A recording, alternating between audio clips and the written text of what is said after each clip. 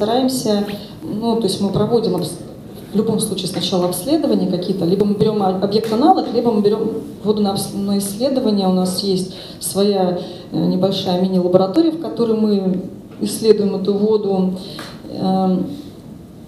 И обычно мы предусматриваем какую-то ступень очистки дополнительную на случай, если вдруг вот придет что-то специфическое, да, там те же металлы, например, либо очень там большое количество нефтепродуктов, либо спавы, как обычно вот на РЖД, э, в РЖД депо же еще обычно моечные комплексы сейчас есть, да, там какие-то тех, э, техобслуживания, вот, и стоки с, с этих э, с этих цехов, они все равно попадают в ливневку. Потому что хозбытовую, в хозбытовую канализацию их сбрасывать нельзя, горколлектор не принимает. И экспертиза говорит, что нет, мы такие, такой объем стоков мы не хотим принимать, вот давайте в ливневый коллектор, как всегда. Ну и мы потом с этими павами опять же боремся на своих очистных сооружениях.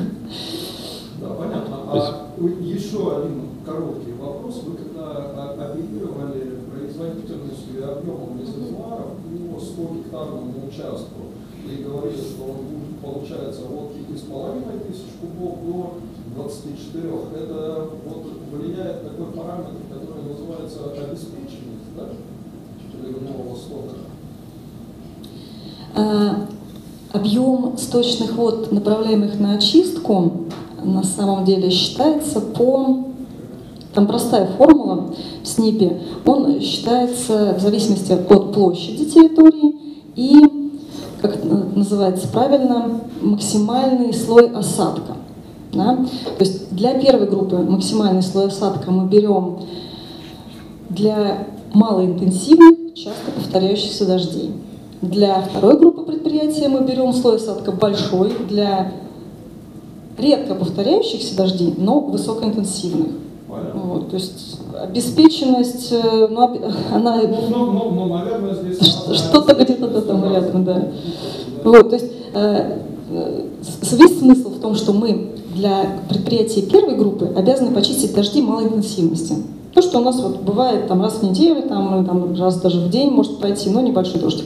А для второй группы предприятий мы берем уже дождь, который вот прям проливной, и мы обязаны почистить его целиком. А первая группа утонет. Пожалуйста, у вас ваш вопрос, и мы, наверное, дальше двинемся. Нет, первая группа не утонет, потому что для первой группы проектируются очистные сооружения с обводной линией. Первую порцию дождя мы забираем на очистку, а все остальное условно чисто идет по обводной линии. Хорошо. Добрый день, Медонов Никита, администрация Посадского муниципального района, управление инвестиций. В нашем районе сейчас несколько индустриальных парков, а три из них это частные, двое, это муниципальный индустриальный парк занимаюсь инженерикой, и вот как раз э, э, вопрос касается недостаточности сбора документации, проблема с, э, со сбросом вод, проходит ручей, на стадии, только сделали хозяйственную характеристику, слава богу, там осетра нет, икры тоже. А теперь э, хочу понимать, как дальше двигаться, что мне дальше необходимо сделать? А, гидрологические характеристики вы уже брали? Нет. Нет еще, да? А, я думаю, это будет еще целая лекция. Просто давайте просто мы вами потом уже обговорим эту тему. Там, на а самом деле, надо провести до конца, эм, понимаю, да? Ну там для начала нужно взять все справки о гидрологии, да. о фоновых концентрациях и так далее. И только потом можно будет сделать вывод вообще, э, разрешит ли вам э, местное БВУ, да, водное управление вообще сбросить туда очищенные, очищенные сточные воды. Да, замечу, что у нас по законодательству забрасывать можно только очищенные сточные воды. Угу. Вот. Давайте, да, и закончим. Резиденты, которые на данный момент заходят на территорию индустриального парка, им отдельно нужно получать как разрешение или нет? Ну, э, у вас индустриальный парк, уже, я так понимаю, там запроектирована канализация.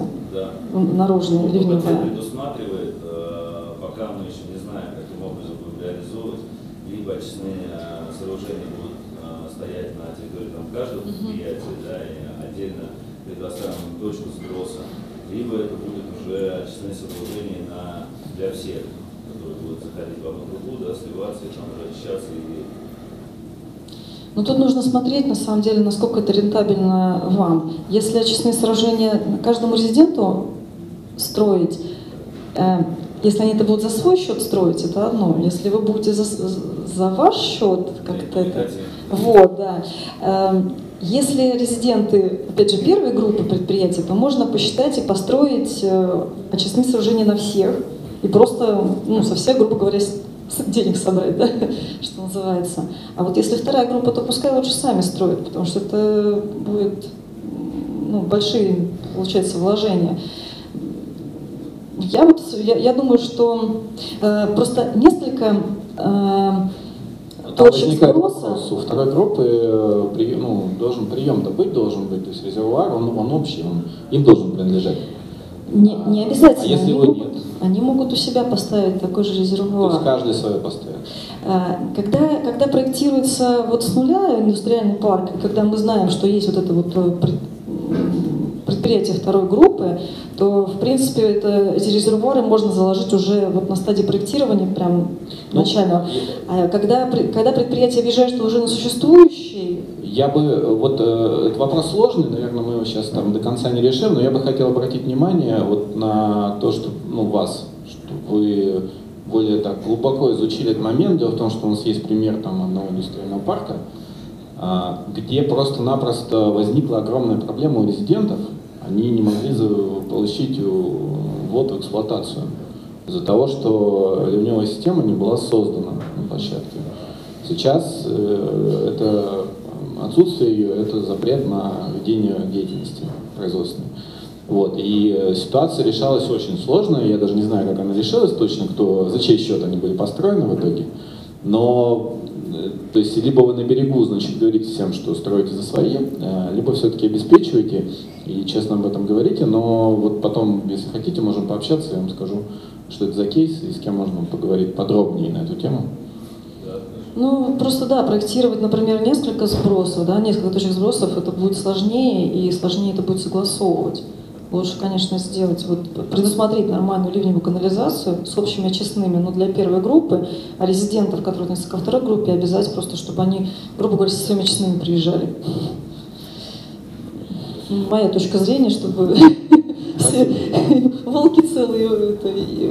Спасибо, Юлия, спасибо, Саша. Коллеги, а давайте, у меня просьба, мы можем это, давайте мы перенесем в конец. Сейчас я, мы закончим доклады, и можно будет еще позадавать. Пока окончательно не устанем, мы тогда завершим совсем.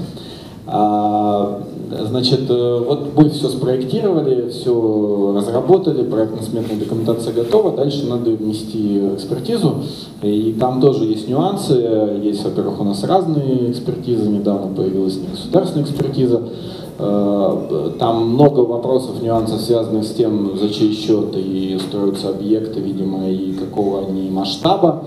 Э, но я в этом не специалист, а вот Антон Романов, исполнительный директор компании, вы, пожалуйста, сами скажите, как у вас точно название, чтобы я не ошибся. Нам как раз сейчас про это расскажет. Я вам передаю слово. Компания называется ДМСТР, так получилось. Вот, оно сложное, но первые 10 раз, когда их произносят, потом привыкают. Э, я, с вашего позволения, э, понимаю, что уже времени осталось э, очень мало. Куда нажимать?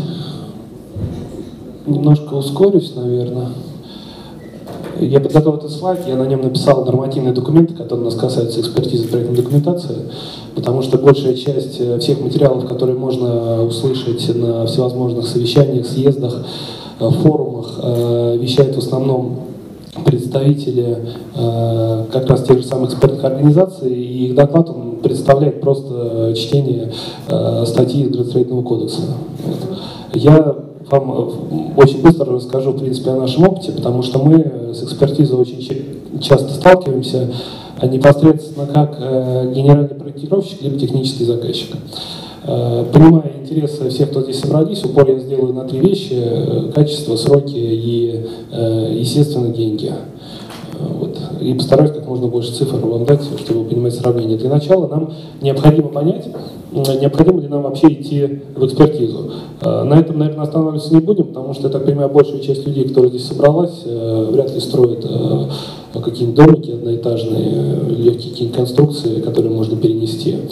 И тому подобное. Поэтому в нашем случае, наверное, каждый объект из всех, кто здесь присутствует, у нас должен пройти экспертизу. Точнее, не объект, а как раз проектно-смертная документация, результаты инженерных изысканий технических. Все же скажите, когда не надо, до полутора тысяч квадратов там, по Да, то, ну, тут, ну, тут нужно, ну, тут нужно оговориться, что у нас может быть полтора, полторы тысячи двести, но серьезного такого производства. Поэтому это, естественно, полторы тысячи, если это объект, это не жилой, не используется под производство. Вот просто некоторые знают эту цифру полторы тысячи и думают, что я строю завод лакокрасочный. Ну, у нас было такое. Ну, маленький, полторы тысячи метров. А, все экспертиза, он маленький. А то, что там лакокраска, технология, будь здоров. Это не единственный параметр. Да, это единственный параметр. Вот. А, поэтому дальше перед а, заказчиком, застройщиком встает выбор, какую экспертизу ему выбрать не государственную, либо государственную. Точнее, если у него вообще такое право выбора есть. Потому что у него может быть объект, что ему выбирать-то не приходится. А, мы, а, значит, остановимся на а, двух видах экспертиз. Не государственная экспертиза и государственная экспертиза. Так как 90% всех наших объектов это ПРОК, вот, и практически все объекты у нас имеют частные инвестиции, либо открытую кредитную банковскую линию, 95, может быть даже больше процентов людей, которые могут себе позволить проходить экспертизу не государственную, выбирают не государственную. Э, компании, которые сами решили пойти э, в госэкспертизу по своему желанию, очень мало. Вот. Э, не могу сказать, что государственная экспертиза в нашем понимании как технического заказчика является неоспоримым преимуществом, у нее есть и минус. Вот, поэтому давайте вот и рассмотрим и плюсы, и минусы. Во-первых, сроки. Я сегодня перед, этим, перед этой встречей решил найти самые быстрые сроки, о которых заявляет государственная экспертиза на своем сайте. Я нашел три дня большими буквами. Вот. Самая первая строчка в рекламной кампании Яндекса. Заходите, можете посмотреть. Люди совершенно серьезно предлагают э, подать им комплект документов по 87 постановлению, 12 разделов, и за три дня они вам дают э, положительное заключение. Государственная экспертиза у нас нормативно три дня только рассматривает вообще комплект, можно ли его вообще рассматривать. И дает свое заключение о том, 12 здесь разделов или 11. У них на три дня уходит. А тут ребята сразу за три дня вам дают заключение. Ну, понятно, что это абсолютно неадекватное предложение, и вестись на это не нужно. Но, тем не менее, если у нас государственная экспертиза все равно срок средний составляет 60 дней, да, при нормативно 42 рабочих, и это при условии, что еще заказчик не будет э, приостанавливать работы, потому что он на это имеет право, то государственная экспертиза у нас э, можно совершенно в нормальном режиме работы уложиться в месяц за счет чего мы э, добиваются негосударственной экспертизы сокращения сроков. Во-первых, работа с негосударственными экспертизами у проектировщика очень часто начинается уже на этапе проектирования. То есть мы не ждем, когда мы полностью все, все тома, все разделы укомплектуем и подадим на рассмотрение. Обычно договор заключается между заказчиком и экспертизой чуть-чуть раньше, и э, разделы и тома передаются в экспертизу уже по мере готовности. Ну, это опять же, как, как договоритесь. Что, естественно, у нас влияет на сроки. Э, второе, что влияет на сроки, это то, что, по сути, государственная экспертиза, она абсолютно не заинтересована в том, чтобы вообще что-то делать быстрее. Ну, это государственная структура, вот. Ну, зачем ей делать что-то быстрее, чем она может? Вот. А негосударственная экспертиза, в свою очередь, это является все-таки бизнесом. И для них, естественно, как и для проектировщика, как и для строителя, как и для любого человека, который занимается бизнесом, важнее как можно быстрее Э, дать результат своей работы. Вот эти сроки. Второе – это вообще как у нас строится работа. Э, не могу сказать, что все негосударственные экспертизы хороши. Мы сталкивались э, с разными. Мы сталкивались даже в какой-то период с экспертизами, которые экспертизы были эффективны. То есть у них есть вроде как офис, они вроде как аккредитованы на, производство, на проведение государственной экспертизы, у них есть подписанты, у них есть сайт, но если к ним в компанию приехать, то вы увидите, что эта компания работает по принципу маленьких проектных компаний, которые просто нанимают каких-то непонятных фрилансеров, которые в свою очередь дают какие-то исключения, такие же непонятные. А, сам институт экспертизы проектной документации, я думаю, вряд ли у кого-то возникает вопрос, нужно ли это вообще. Это нужно. В отличие, от, например, от э, всего другого, что написано в гражданском кодексе, например, СРО. Э, ну вот я, например, человек, который член СРО, я не знаю, зачем это мне нужно. Вот. И до сих пор я пока не нашел того, кто мне сказал, зачем это нужно. Даже СРО мне не может это объяснить.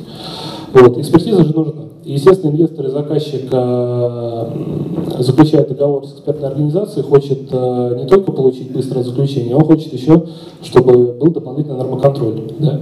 Потому что экспертиза у нас смотрит не только за тем, как э, оформлены документы, какие шрифты у нас в шапке, и соответствует ли она приказу Минстроя, они еще и смотрят на то, чтобы проект у нас соответствовал всем тех регламентам, всем нормам, СНИПам, ГОСТам и так далее. Потому что если у нас проектировщик допустил ошибку и не указал какой-нибудь очень важный аукционный выход, а экспертиза это не увидела и дала положительное заключение, это не дает права э, заказчику застройщику и совершающему строительство этот выход не делать. Это все равно рано или поздно всплывет. И поэтому, конечно, контроль за результатом работы проектной компании он должен быть повышенный. Разброс цен э, следующий. Государственная экспертиза определяет свою стоимость строго фиксированно. Э, э, исходя из стоимости э, реализации проекта, она берет коэффициент. Чем больше стоимость проекта, тем коэффициент меньше. Негосударственная экспертиза работает, опять же, по принципу бизнеса. Они исходят из своих человек-часов, из своих затрат и своей нормы прибыли, что позволяет государственной экспертизе договориться.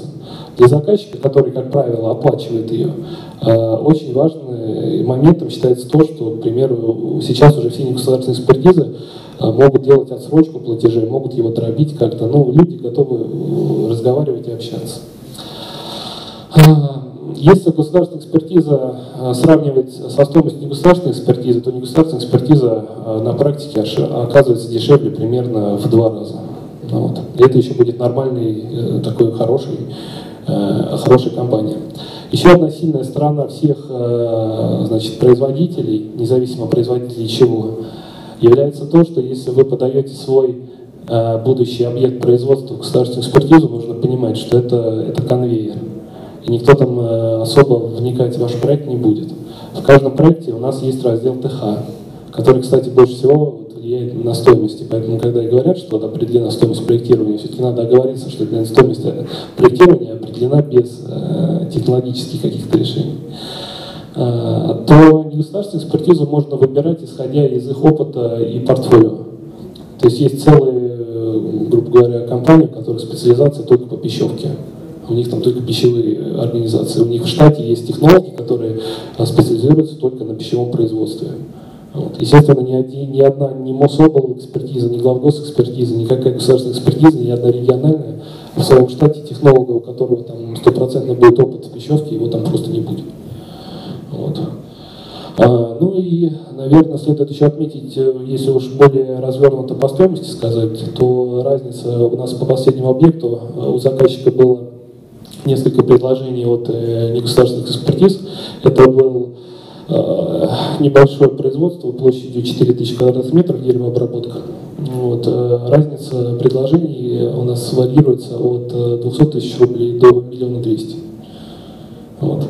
И поэтому это, конечно, уже функция заказчика, технического, или технического заказчика, если он есть, определиться вообще с тем, кого мы на эту работу будем привлекать. Потому что момент серьезный. С какими проблемами, наверное, еще следует поделиться? Мы сталкиваемся там, как технический заказчик время от времени.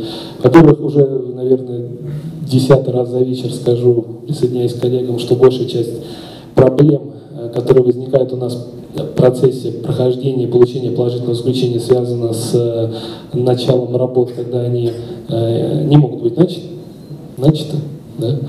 когда уже когда уже все построено, э, уже когда документы планируется подаваться в экспертизу, получаются технические условия, которые совершенно не бьются с тем, что, что вообще запроектировано. Получаются документы на землю, кадастр, ГПЗУ, Оказывается, что там вообще санитарно-защитная зона, раз при ней все время говорят. То есть самострой у нас, да? Да, и, вы знаете, мы в такие объекты стараемся не участвовать. Вот, нас все время приглашают на них больше с точки зрения аудиторов и обследователей. Но ситуация о том, когда документация еще даже не пошла в экспертизу, она находится еще на этапе там, общих каких-то решений по конструктиву, а на площадке уже вовсю строят фундамент, она, естественно, до сих пор мы ее наблюдаем часто. Ну, как показывает практика, больше от этого заказчик-инвестор теряет, чем приобретает. Ну, вот, наверное, в двух словах. А, Антон, а при каких условиях э, вы обязаны идти, ну, инвестор обязан идти, э, соответственно, в госэкспертизу Конечно. и обязан идти в глав, глав Да. Ну, во-первых, давайте э, сразу отметим, что инвестор, заказчик, застройщик, э, понимаем, кто у нас должен, не может выбрать негосударственную экспертизу, если у него э, часть э, средств, которые планируется затратить в процесс реализации проекта, подразумевает бюджет, причем бюджет любого уровня, это не только федеральный бюджет, это и бюджет муниципальный. А, во-вторых, если, ну, это, я думаю, это понятно, да, потому что в данном случае нам еще нужно обосновывать и стоимость. Вот. Смету, конечно. Достоверно происходит стоимость. Да, потому что если мы за свои деньги строим, нашей стране все равно, сколько мы строим. Нет, то есть если мы строим очень дорого, интересно, эти деньги, откуда взял человек. Но больше вопросов никаких это не вызовет. А, затем, когда речь у нас идет об объектах а, сложных и уникальных, а, если в портфолио проектировщика есть такие объекты, то ему очень повезло, потому что таких объектов ну, не так много. Это ограничение по высотности 100 э, этажей, это консоль э, большая, это глубина залегания больше 15 метров и тому подобное. Ну, естественно, естественно, естественно, да, это объекты, которые у нас, э, с которыми, если что-то пойдет не так, это, это увидит не то, что весь город, а вся страна. Это главвоз, да? Конечно, это объекты Росатома, это оборонка, это и все, и все, и все прочее. Но опять же, все практически э, заводы, цеха э, с частыми инвестициями, привлеченными банковскими средствами, э, у нас проходят почти всегда по негосэкспертизе. Но есть еще одна очень интересная вещь, которую я недавно начал наблюдать. Э, некоторые резиденты некоторых технопарков, на которых мы работаем, у них именно при открытии кредитной линии есть условия конкретно э, банка. Госэкспертиза. Да. Да. Хорошо. Друзья,